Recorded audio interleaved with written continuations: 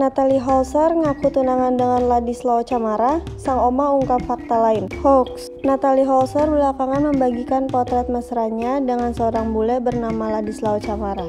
Hal itu pun cukup mengejutkan lantaran ia diketahui baru saja putus dengan tiktoker Yogi Ilham. Tak sampai di situ, hal yang lebih membuat publik kaget adalah soal pernyataan Natalie Holzer yang menyebut dirinya sudah bertunangan dengan Ladislao Camara. Menariknya, sang oma, Hetty Holzer, belum lama ini mengungkap sebuah fakta lain.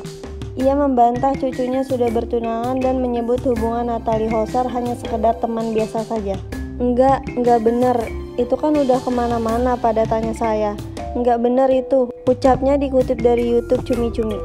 Komentar saya ya saya suka lihat di IG aja, berteman aja, sama-sama tiktoker, sama-sama bikin konten. Wajar lah namanya artis sambungnya.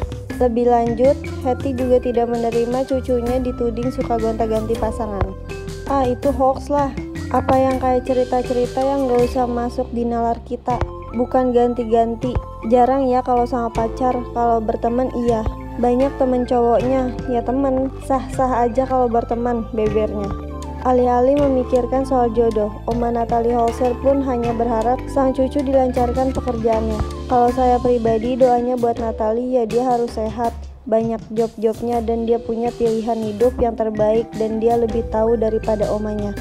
Pungkas Hetty